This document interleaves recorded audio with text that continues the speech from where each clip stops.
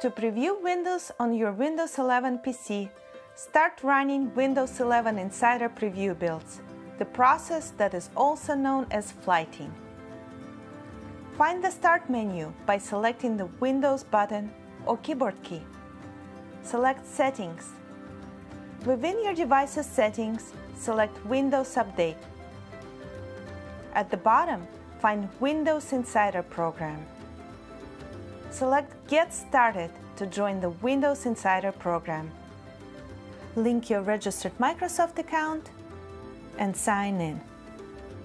Then, select Canary Channel, Dev Channel, Beta Channel, or Release Preview Channel. Review the agreements for your device and that's it! Let's restart now to start getting Windows 11 Insider Preview builds.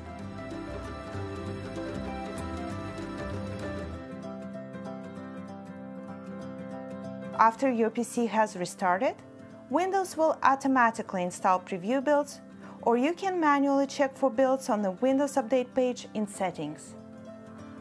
Once the new preview build is installed, you can start flighting Windows 11.